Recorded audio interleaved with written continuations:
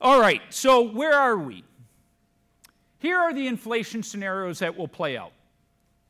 Is it transitory? People argue it has or is already peaking. Is it structural?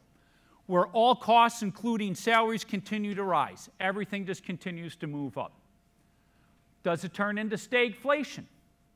Persistent high inflation combined with high unemployment and a stagnant demand in, in the country.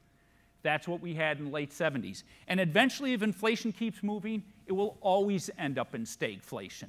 Why? Because if salaries move too much, then businesses' margins start getting collapsed. They start uh, investing less, and then uh, labor starts getting laid off.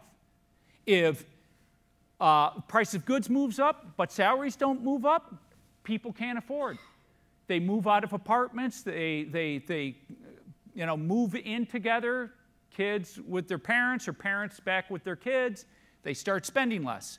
So eventually, structural inflation almost ends up always in stagflation.